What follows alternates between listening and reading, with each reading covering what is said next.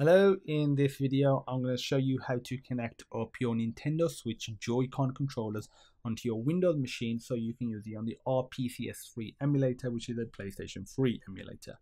So let me show you the controllers right now. You should be seeing these two, so the left one and the right one. Could be any color, it doesn't have to be the corresponding colors. You do need Bluetooth because that's the only way of connecting these controllers and your laptop might be built in, probably does if you've got a laptop. If it's a computer, desktop, then it may not. You may need a cheap Bluetooth dongle, which you can get off Amazon or eBay. Okay, so you, we're actually going to connect both of them because in older versions of the software Better Joy for CEMU, you could only connect one, so there was issues. But the new early build, which works well, I've tested it, allows you to connect both, which is fantastic. So what you want to do is connect both of these up first. So go to your Bluetooth settings. And you know, whatever the Bluetooth settings look like, you want to press this button here. Oh, I'm not even pressing it. One second. Yeah, I'm pressing it now. There we go. I wasn't pressing it. Now I wasn't quite getting in there. Okay, so click add Bluetooth for the device. Click Bluetooth uh, left there we go it's just detecting the right one because I've just previously connected it as well but I'll show you how to connect that one. Basically the same process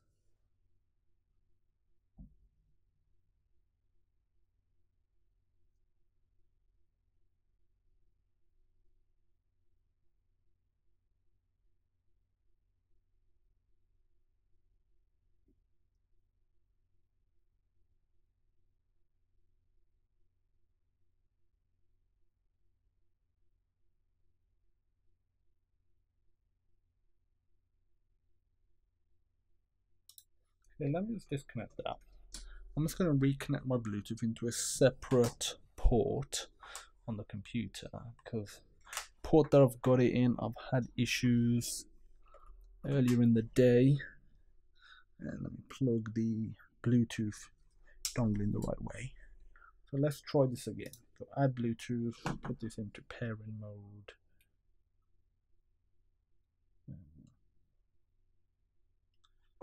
Goes in pairing mode, click on Bluetooth, select the left one when it appears. It'll just say Joy-Con without in brackets, which indicates it's the left one.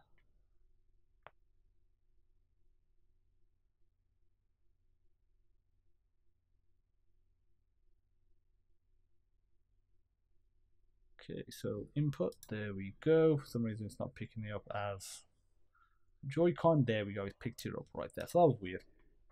Okay, so it'll appear like here in a second. Let's do the same with the right controller. So click add Bluetooth. I know it's still in doing the light flashing. We'll fix that in a moment. So we're going to put this into pairing mode. And we want to pair the right one up when it appears. So as you can see, the left one has appeared now. Probably won't be that long for you. For some reason, I find when I'm recording, you know, connection stuff is a little slower. Uh, I have no idea why. I don't know what OBS is doing in the background that's interfering with Bluetooth potentially or something that's interfering with connection. Otherwise, like it appears like that. But yeah, you just wait patiently. So we just gotta wait for the right one to appear. Should appear as Joy-Con, you know, bracket R for right. If it doesn't, it might just appear as input like it did before, but it got detected as L for left. So this is still in pairing mode, so just gotta wait patiently for this to appear.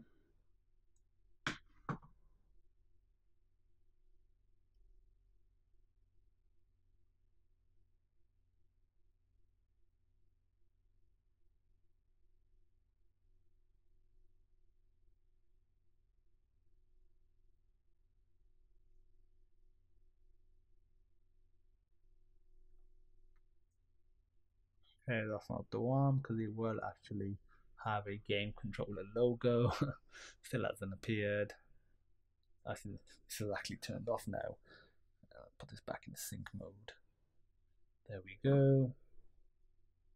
So there we go. So like I said, you shouldn't have that issue for some reason when I record. It's a little buggy for some reason. You shouldn't have that problem. Okay, so they're connecting now. We'll minimize that. I shouldn't really need it anymore. So if you just open up the setup USB game controllers, we've got wireless gamepad detected here, which is all well and good, but it's not detecting any of the buttons and we can't use this in its current state. So what we need to do is make them into Xbox controllers or into a Xbox controller. So Google Better Joy for CEMU and go to the GitHub link. I'll provide a link to this in the description and go to releases. If version 6 or newer is here, fine, fantastic, download that. Downloads x64 for 64-bit and x86 for 32-bit. But if it isn't, then go down here and just get the nightly build. Same thing, 64-bit or 32-bit. You know, I found it's working great and this has a lot of new features but one of the big ones is that you can use both controllers and make it like it's the left half and the right half of the Xbox controller. Otherwise you could only use it as one and you were limited with the amount of buttons. And this is valid for any sort of emulator. So I'm going to click 64-bit and then you open a page like this similar for 32-bit just click this download button and you just got to wait patiently. And while it's basically you know, it, it, zips it up and it sends over all this into a zip file. I'm going to close this down because it can take a few, you know, a little bit of time, but it basically will start downloading. So let me close this down, but if you wait patiently, this will download. Okay, I've already got it downloaded. So go to your download location. You want to right click, extract all, go to extract, and you want to install these drivers so right click it run as administrator and a little window will pop up go to more info run anyway then click yes. And as you can see it's telling you if you do want to uninstall the drivers you can uninstall them by using that option right there.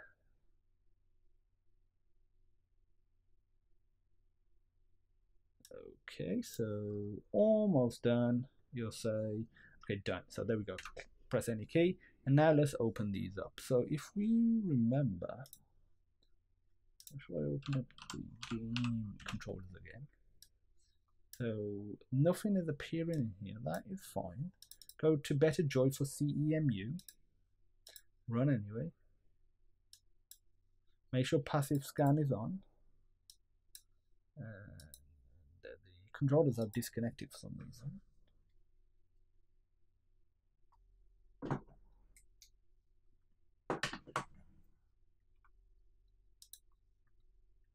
Okay, again, I think it's just literally my Bluetooth dongle. I've had trouble with this Bluetooth dongle before. Do need a better one. And I'm plugging it in into a different port now.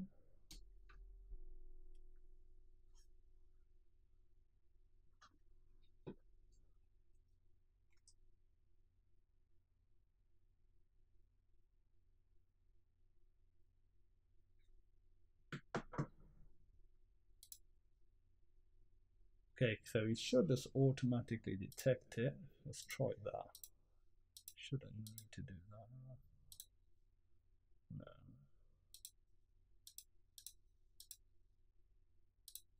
No. Okay, it's detected the one. We wanted to detect this one as well. There we go, it's detected both of them right there. But uh, it's actually flipped them over, which is not what we want. If I close this down, let me reopen it. There we go, it's all right now. If we go here, ignore these, these may disappear, but this is the one that we're interested in. If you go to properties, as you can see, they have been mapped to port 1. And if I move these around, as you can see, all the keys are now being detected. So that is great. And we got these for start and select. These do not get detected because these are extra keys that we don't actually need for our PS3 controller or Xbox 360 controller as, essentially it's mapped it, but that has the same amount of buttons. So what you want to do now is actually just open up your RPCS3 emulator. So open this up.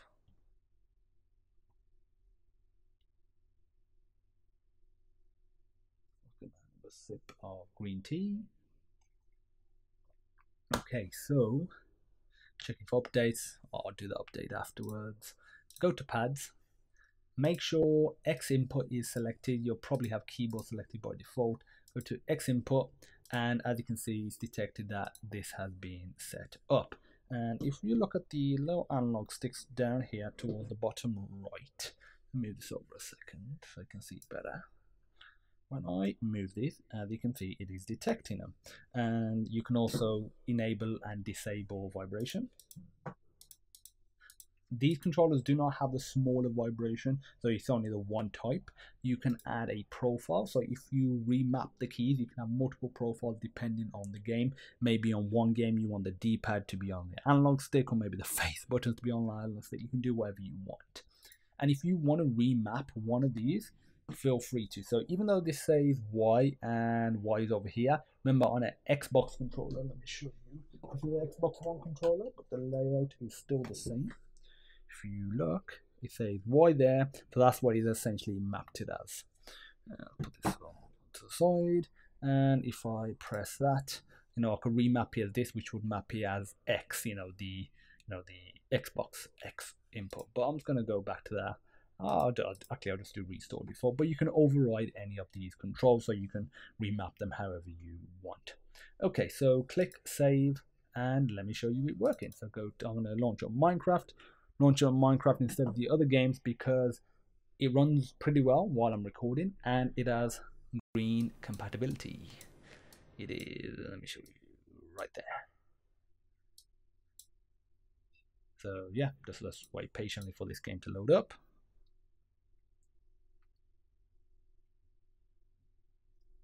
Turn the volume down.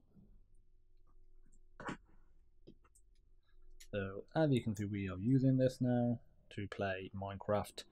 But again, it could be any PS3 game emulated on the RPCS3 emulator for Windows.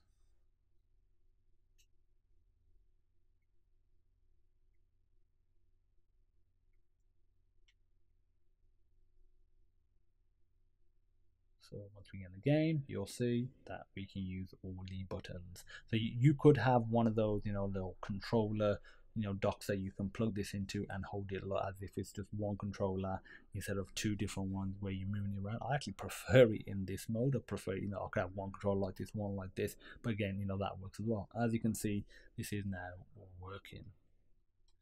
Uh, and let's do some mining. And there we go. So that's it. So that's it. If you have any questions, feel free to pop me a message. You shouldn't have the connection issues that I was having. I tried it before recording the video. It worked fine. Sometimes, like I said, I have issues with my Bluetooth dongle when I'm recording. So you shouldn't have those issues. It should literally just appear and you should be able to connect them. And that's it. If you have any questions, feel free to pop me a message. And as usual, I look forward to seeing you in the next video.